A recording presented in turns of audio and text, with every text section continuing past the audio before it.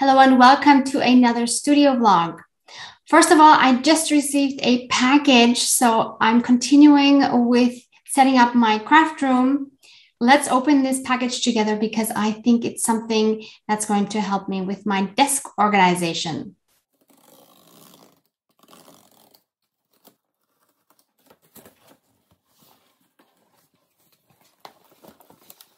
So this is a monitor stand. I want to put this right there so that I have a risen platform on which I can store more things and use up less desk space. I'm excited. And this was inspired by one of my lovely viewers, Karen. Thank you again, Karen. Karen had some great suggestions for how I could store my little journals. And one of those suggestions was to have like a little acrylic shelf, which I've also ordered, which will hopefully come today as well. But that gave me the idea of using this kind of acrylic shelf for my table. It's so pretty. so that goes right here. And one thing I can use it for, which is really cool, is I have my laptop here. you can see this is what I'm recording. I need this to mirror what I see in the camera so that I always know whether I'm in frame or what's showing on the camera. So this is really cool that I can have that up here and still store things underneath here. For example, my little dish with beads or distress oxides that I use a lot or the ones that I'm currently using. Clamps to hold my journals open. And I'm sure I'll think of more things as I work. And maybe you can see here a little bit, my glass desk is up. So let me show you that. So hubby was able to put this up quite easily. I'm quite happy with it. It doesn't make the room look so cluttered because it is glass. Let me show you the view from when you walk in. So I think it's still fine. Doesn't really bother me and it really helps me a lot surface space wise. So as you can see, I have my die cut machine here now. And here, I showed you last time I had this tea box that I got from my Goodwill. And in here, I stored all my thicker dies and my plates for my die cut machine. And now I also added all of my embossing folders, which fit in here really nicely.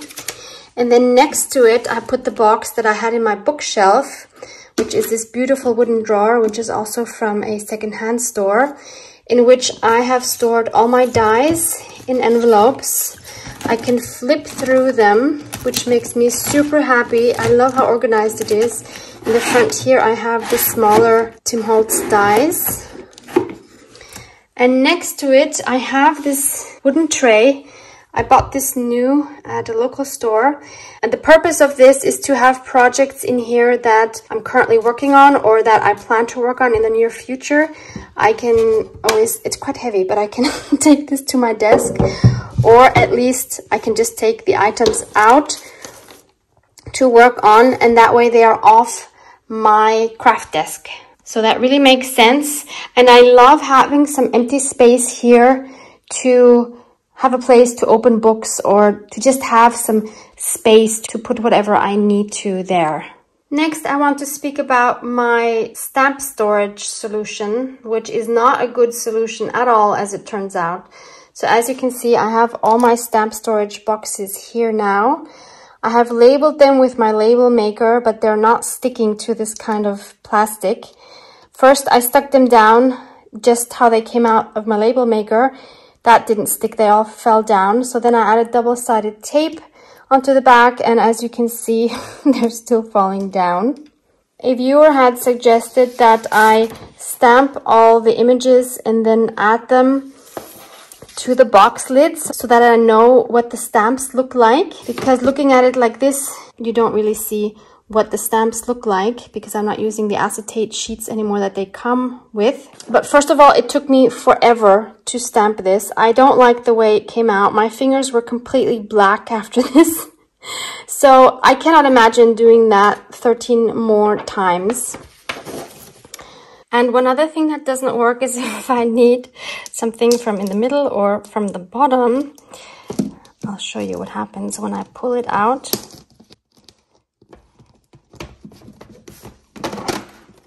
Yeah, you see that catastrophe? that is not going to work for me. But another kind viewer, the Blue Chronicle, thank you again, sent me a video of another stamp storage solution, which I'm really loving. So I will share that with you here.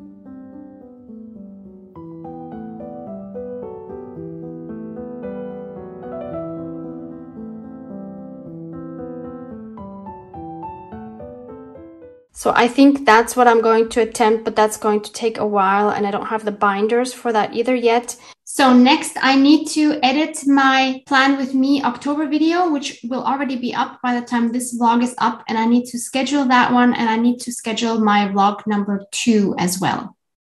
And I'm really happy that it's finally sunny again. It's been raining so, so much. There should be some sun the next few days. Tomorrow a friend of mine and I are going to Ikea and we're going to get some more things for the apartment. For example, I want to get some curtains to make the rooms feel more cozy. So for example, I want some curtains hanging here just over the window so that they won't go over this here and that there, just where the window is, just some sheer white curtains.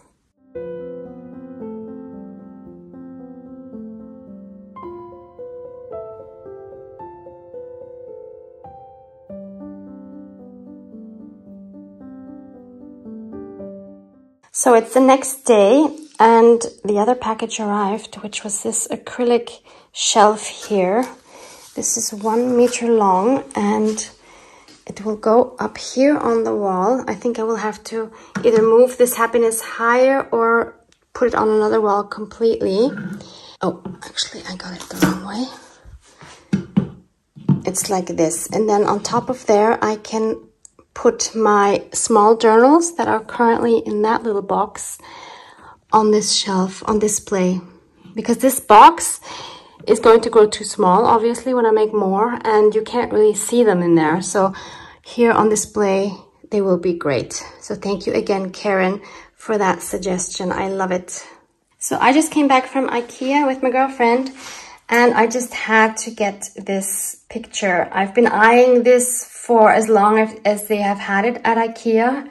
And I think this is the last batch that they have. I just love this deer so much. And he's going to go here. Actually, it's not a deer, it's a stag. he's going to go up there. And the other thing I had to get are some fairy lights. These are with battery. So I got some rechargeable batteries and I plan on hanging that somewhere here because I think that will look really cute. So let's try that. Ha! It works. you can hardly see them on camera, but they are lit up. Okay, so there's what that looks like when that stag is hanging. I love him. I'm wondering if he looks a little bit lonely there. But then again, I don't want to clutter everything up either. I will put something on this wall. So maybe I'll put, as I said, I think the happiness one on that wall and then have my small journals above there. But I need to wait for my brother to come with the drill because I cannot mount this on my own with nails, unfortunately. So it's now later in the evening. I just had a really lovely Skype with one of my friends And now I need to edit down one of my Junk Journal Snacks videos into an Instagram post, which will be less than one minute. Let me show you how I do that. I do all of my editing in iMovie, which is a program that comes with any Apple computer that you buy. Totally sufficient for all of my editing. So I'm starting off in this case with a video which is almost 21 minutes and I have to get this down to one minute. For some reason, I really love this challenge. so I start first by getting rid of all of the like extras. I would call them like all of the music, for example, and everything here at the end. The next thing I will do is get rid of all of my sound. Next, I will speed up everything which is currently in normal speed because I was talking, so obviously I couldn't speed it up. But for my Instagram video, I need to speed all of this up. I'll start off with double speed for anything that is currently normal speed. And of course, I will be cutting a lot of this out later but this gives me a starting point. I already have to think about the placement of where I have things when I'm filming because the formats of Instagram and YouTube are completely opposite. So the YouTube format is horizontal and the Instagram format is vertical. Meaning, if I then play this on Instagram with the Instagram format, it's going to cut away anything that is on the right and the left of the screen. So I have to keep that in mind when I'm filming to always film in the center. which is not always easy because you are in the flow and you're concentrating on what you're saying. And then to also concentrate to be in the middle of your frame is kind of a lot. So there are videos where I forget to do that. And it's just the junk, junk journal snacks videos where I need to think of this. I do the best I can.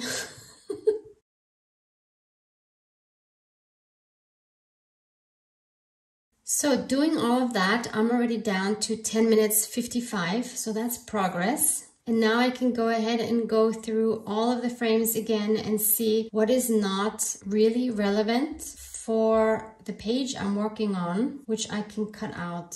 So I have to see where do I really start. So I talk a lot about various things at the beginning.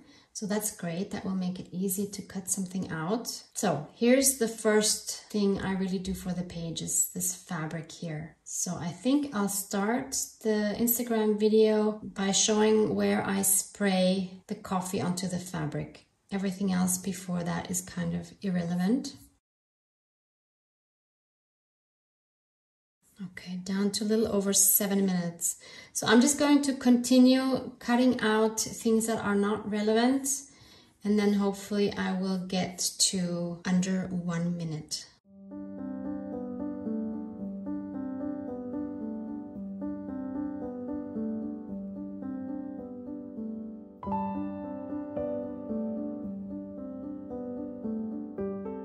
So it's a few minutes later and I managed to get the video down to 38 seconds, which is great. The shorter the better for Instagram. And now I want to add some music to it. I will go to Epidemic Sound, which is the website I use. I have a monthly subscription. That way I have the license for all of the mu music that I have in my videos and on Instagram. I don't have to worry about copyright. So depending on what mood I want to convey for this particular video, I will look for a specific kind of music. A lot of times I like classical music, slow, calm music. I can also see what I downloaded, for example, the past week or the past month. If I need something quick and I don't want to browse through new music, I can go through some of the things I've downloaded in the past and then just choose one of those. And for Instagram, I usually choose actually a different kind of music than I would choose for my YouTube videos. My YouTube videos usually have very calm music, whereas I have a feeling for Instagram, the viewers are a bit different. And I usually choose music which is a little bit more upbeat or maybe a little bit more trendy than for my YouTube videos. In this case, I don't want anything too slow because I don't think it would fit to this kind of video. So maybe this one would be a good option.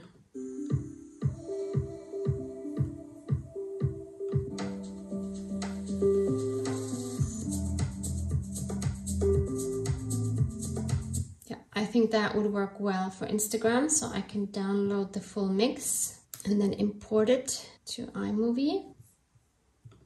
And then I also need to decide where I want the music to start. Like, do I want it to start right from the beginning?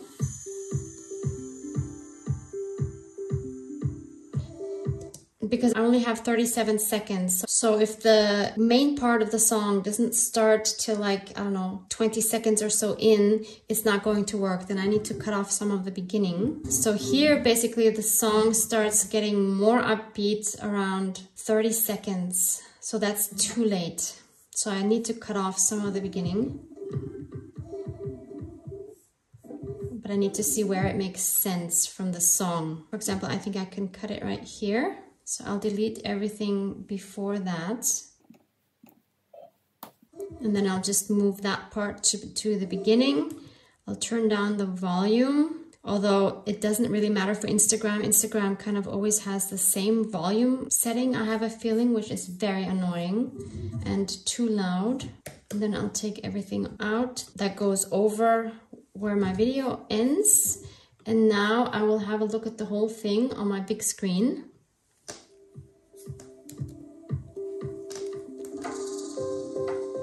But I have to keep in mind that on Instagram, we will only see this middle part.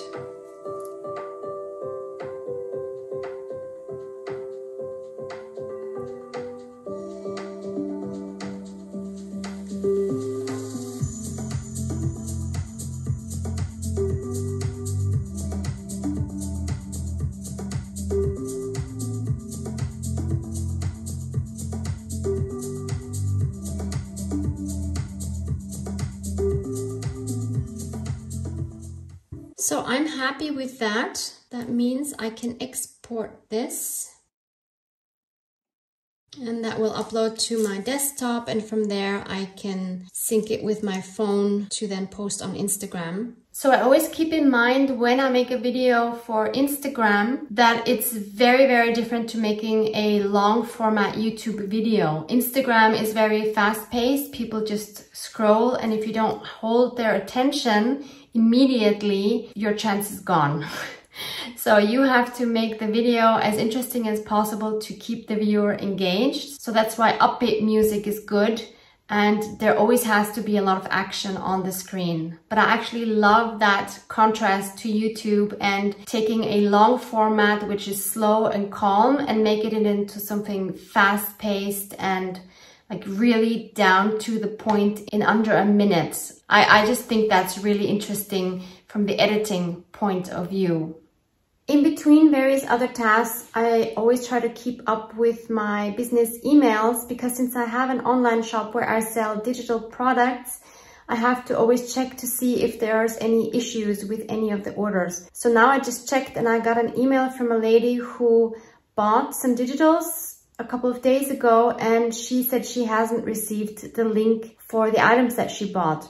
So links always go out automatically as soon as you purchase you get the links. But sometimes these emails end up in the spam folder or a different email was given than what the buyer is checking.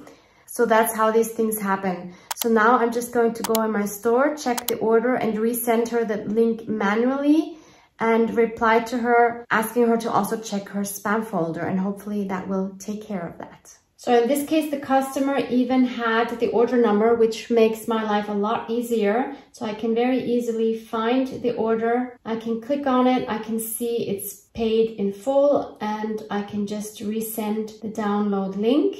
Then I see it's been sent and I will copy the email address and let her know that this is where the link went so that she can double check that. Good morning. It's the next day and it's about 8.30 in the morning. It's really cold. It's like 7 degrees, but it's sunny. So this is the first walk I'm taking from my new flat. And actually it's the first walk I've been taking since over a month since all this crazy moving business started. So I'm super happy to be walking again. So I'm finally at my Schönbrunn Palace Park where I usually go for walks. And interestingly it's about the same distance from my new flat as it was from the old flat but from the other direction. So that's cool. And on the way I had to stop by my post office to pick up a letter and I had to wait almost an hour. So that's definitely a con of this new place. The post office is a disaster. So not looking forward to picking up a lot of mail from there. But let's focus on the good and enjoy a walk in this beautiful garden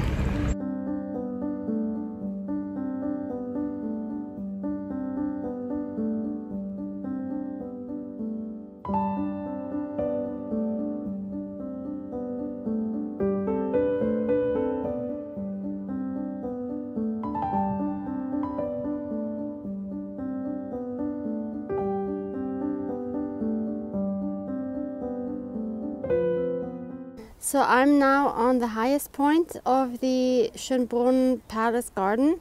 And what you see right there is Palace Schönbrunn from the back side and when we look over here this here is the so-called Gloriette which was built in 1775 so that was the later part of the reign of Maria Theresa of Austria and in the 19th century, this middle part right here was used as a dining hall, and they had built a little kitchen somewhere off the side. But that was, I think, then taken down again, I think, in 1925. And in 1945, unfortunately, the east wing, that part, was hit by a bomb, but that was then later rebuilt after the war. And now this middle part here is a coffee house. So you can go and just have a coffee and enjoy the wonderful view over Vienna.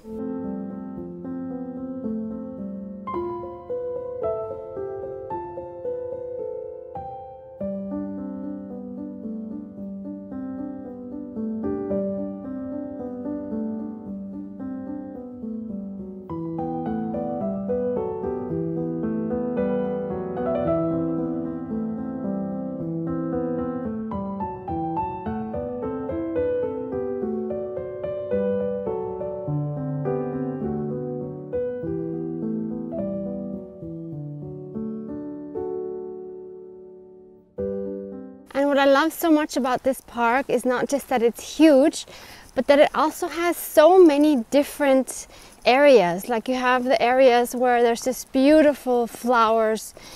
Then you have forest areas like here, which is great in summer when it's hot. Then you have the beautiful buildings, you have the beautiful architecture and Roman ruins. So it's it's an adventure every time I go here. And of course there's quite a bit of wildlife here as well.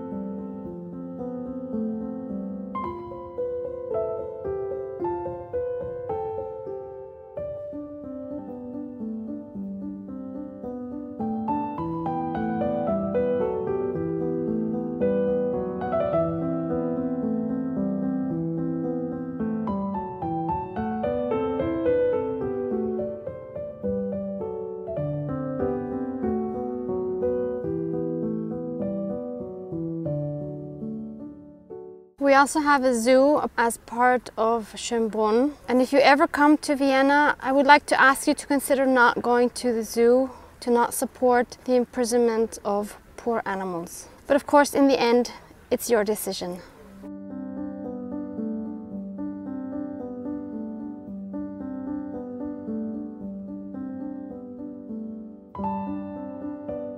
So up there we can see the Gloriette where we were before.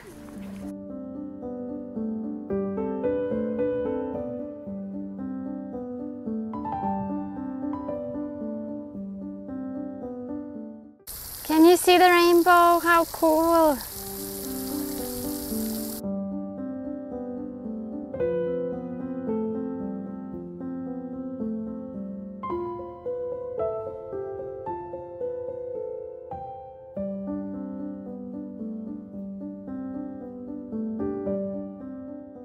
So I just came home from my walk. I have my 10,000 steps, so that's great. And one of my viewers had asked to see what a European kitchen looks like. so this is a small European kitchen. It's nothing spectacular. It's a lot smaller than my last kitchen, but what can I do? So here's still a lot of packaging that I need to store somewhere else and some glasses I still need to unpack. But that's it. That's the last thing I need to unpack. But I do have a pretty cool view over Vienna, I would say.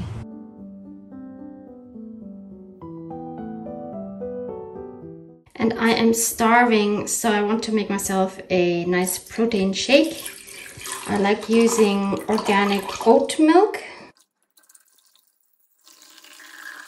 Then I'll add a heap spoonful of almond flour for my protein, some ground flax seeds, some cinnamon, half of a banana, and two handfuls of frozen raspberries. So I'm going to enjoy my smoothie now, download everything I have just filmed at Castle Schönbrunn and edit it so that you have a vlog to watch. Hope to see you in the next one. Love you guys. Mwah, mwah.